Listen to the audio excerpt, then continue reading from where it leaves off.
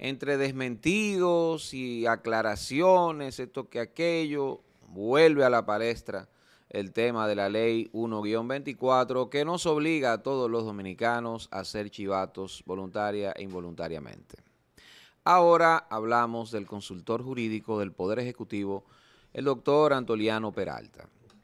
Don Antoliano le escribió una carta al director del listín diario, Miguel Franjul, pidiéndole que se aclare y más bien haciéndole una corrección sobre un titular del periódico eh, en el sentido de que informaba que en un programa de televisión, Antoliano Peralta iba a informó que iban a modificar, a pedir una modificación de la ley 1-24.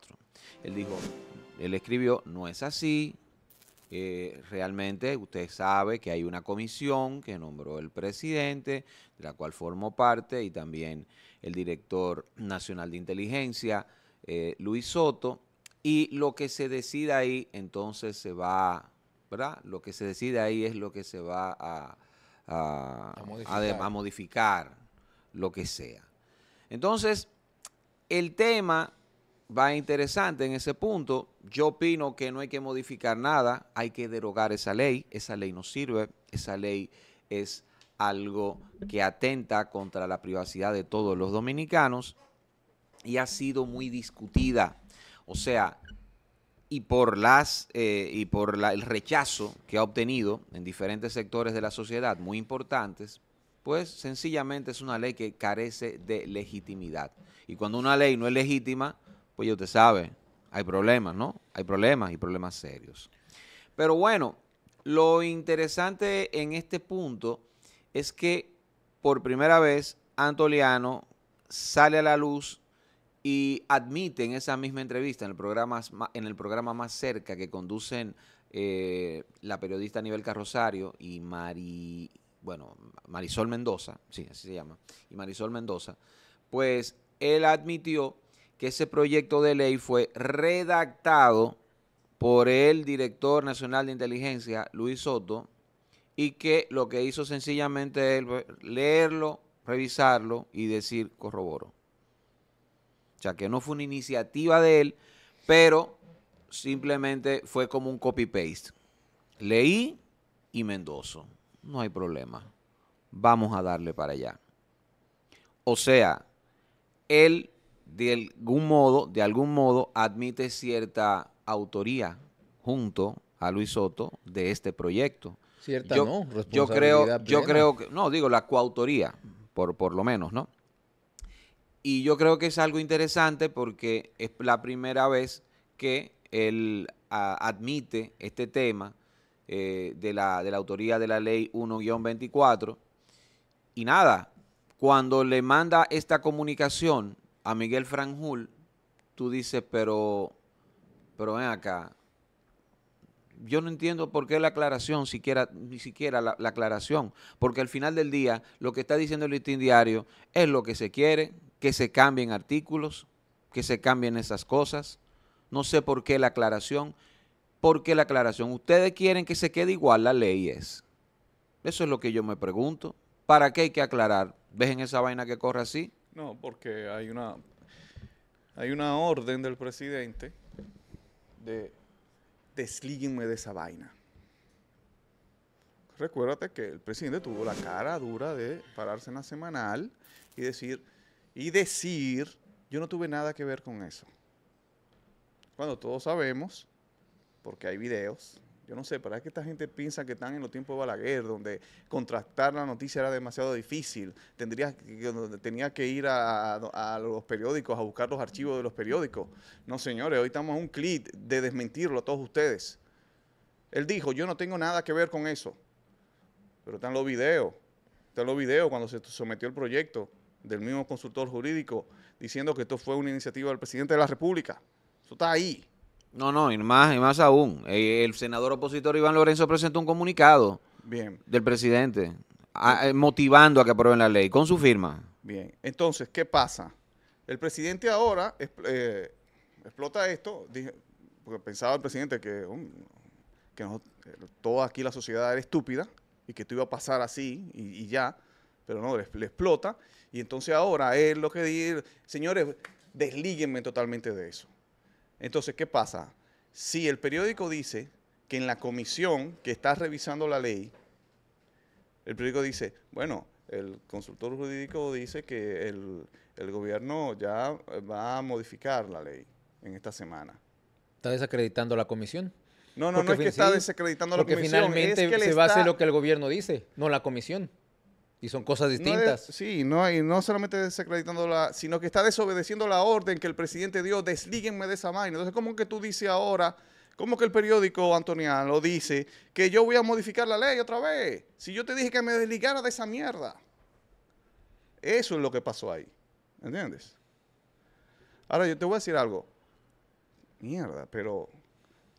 Y ahora sale... O pedir la modificación, porque ellos no pueden modificar la ley. La el, Congreso, imagino que la, la tiene que modificar, porque ya esa ley no, está... pero claro, el Congreso, pero las modificaciones, las observaciones las va a hacer el presidente. Claro, claro. La, la podría hacer el presidente.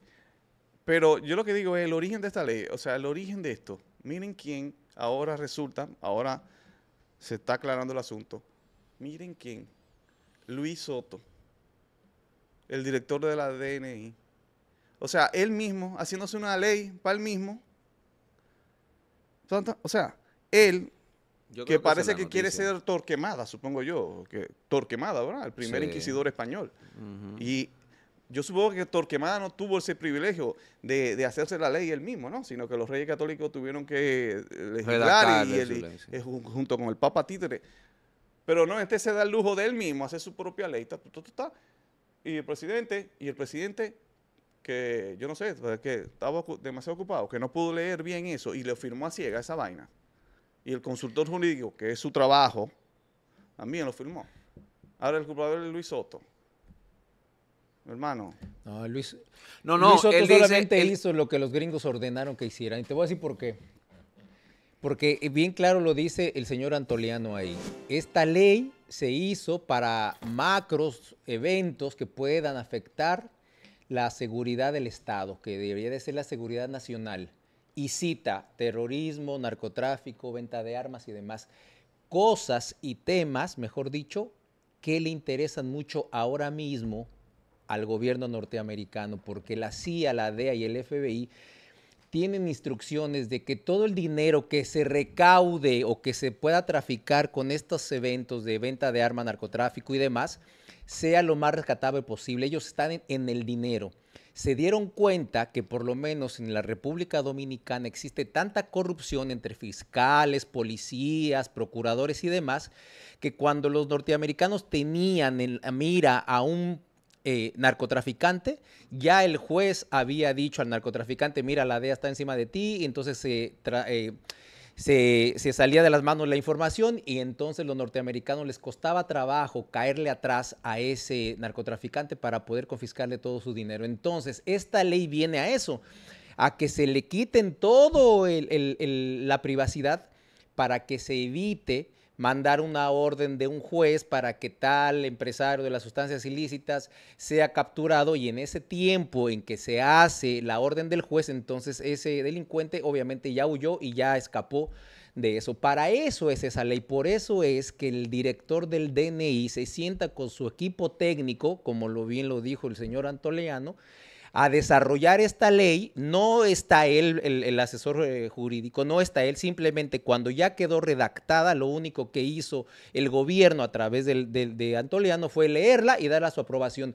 Por eso dice, aunque nosotros no estuvimos presentes, yo asumo la responsabilidad de que esa ley se redactó, porque la leímos y la consultamos. Así que la responsabilidad es compartida, tanto mía como consultor jurídico, como el director del DNI. y se equivoca Por ahí. eso es. Y se equivoca Claro ahí. que se equivoca porque tenía que haber estado ahí. Es decir, No, no. tú y yo somos parte de eso que nos está mandando el presidente, ¿verdad? Ah, no, hazlo tú. Tú cuando ya tú lo tengas, tú me lo mandas para yo nada más leerlo y decirte que sí, que todo No, está bien. Es que yo no lo que, yo No, lo que él no se es. equivoca cuando él le da responsabilidad a- ante la sociedad a Luis Soto. No, señor. Luis Soto no tiene responsabilidad ante, ante nosotros de esa vaina. Usted es el consultor ju- jurídico del, del Estado Dominicano. Es que tiene que filtrar eso. Yo puedo hacer una ley y mandarla. Claro. Él, Y él- entonces, él es el filtro. Yo puedo hacer una barbaridad como esa y Claro. mandarla y él la va a, fir- a firmar y después él va a salir en rueda de prensa. No, eso es culpa de José Maracayo. O culpa compartida de José Maracayo y yo. No, culpa suya enteramente. Suya y del presidente de la República, su jefe. Sí, sí, eso, eso, eso es Que a definitivamente. Luis Soto, bueno, le Ade- querían hacer el juego a Luis Soto. y Parece que Luis además- Soto quería hacer un negocio con esa vaina que me parece eh, tiene todos los elementos para hacer un gran negocio de ahí. ¿ah? Recuerden el, el asunto de, de la carta de la carta de Luis Soto que le mandó a, a Hugo Veras con el asunto de los semáforos. del semáforo. De que mira, eh, Tu es- seguridad los nacional. tienen Estamos las cámara, cámaras. eh, tú no le puedes dar control a esa otra gente. Ya es, que tenía todo planeado. Eh, entonces, mira, eh, esta, esta actitud del presidente de la República me tiene harto ya. O sea, desde que empezó con la misma vaina, el pana, o sea, de- debería tener un poco más de, de valentía, ¿no? Y sus funcionarios deberían ser un poco más dignos. Digo, de valentía cuando, oye, me equivoqué. Oye, me equivoqué, men. Asumo mi responsabilidad. Claro. No. No, No, no, no, ah, no, eso es culpa de Soto. fulano. Es que eso es, no. y, y- y lo- y los, y los lambones de funcionarios que tiene la asumen. Que mira lo que está diciendo.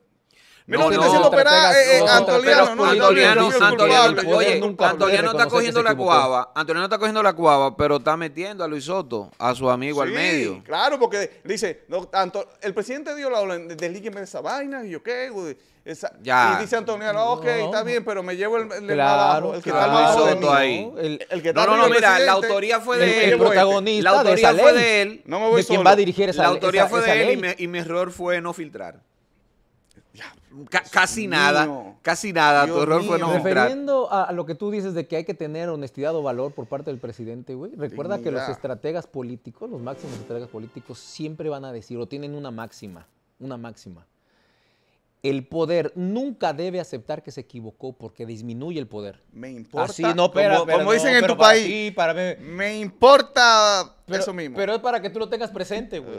El poder Er- nunca va a aceptar ergo. que se equivocó. Nunca va a aceptar que se equivocó el poder. Jamás. Erga. Entonces nunca te vas a encontrar ¿Y y, quién es mucho el poder? menos ¿Quién es el poder? y mucho menos te vas a encontrar aquí un político, un político que tenga esos bien puestos para decir, es verdad, yo cometí este error y tengo que pagar la consecuencia de eso y me equivoqué. Es verdad, discúlpeme usted, sociedad dominicana, no lo vas a encontrar. Bueno, señores, esta es la quinta pata. El Charro Bachatero, Fernando González, José Maracayo, Edwin Cruz. Recuerden suscribirse, activar campanita, comentar y darle a me gusta para seguir creciendo.